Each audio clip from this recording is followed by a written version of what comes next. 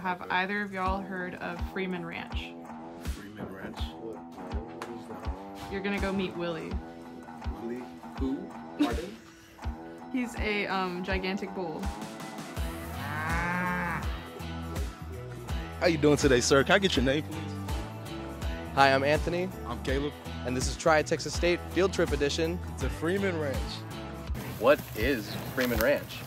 Freeman Ranch is a 3,500 acre outdoor laboratory space that the university uses for teaching, research, research and outreach. Willie, are you available for an interview, sir? Let me. So right now we're bringing in uh, Santa Gertrudis, which is what Willie is over there. We will be using his offspring uh, to look at crossbred versus purebred research here over the coming years. Willie's official name is KK Willie Wonka. Uh, he's uh, had half of the herd out here at Freeman for two months, uh, all to himself. Happy Willie, happy life.